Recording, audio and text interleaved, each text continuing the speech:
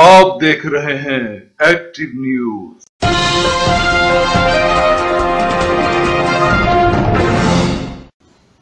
नमस्कार। Active news में मैं विशाल मेहरा खबरों के इस बुलेटिन में आपका स्वागत करता हूँ। श्री साई सेवा संस्थान की तरफ़ से दुनेरा में आज पांचवी साई संध्या का आयोजन किया गया।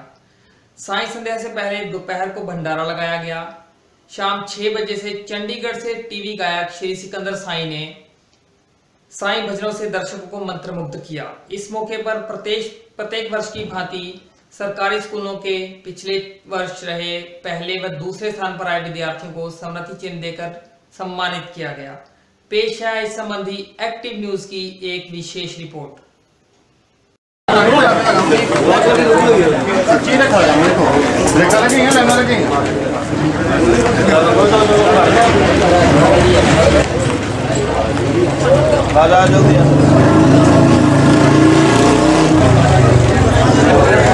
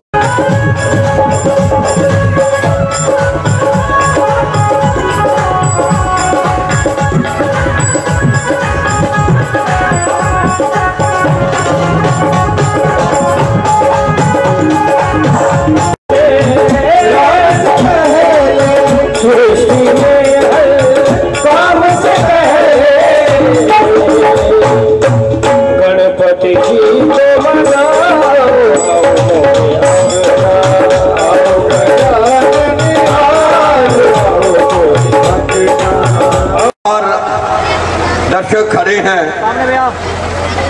या रास्ते में खड़े हैं।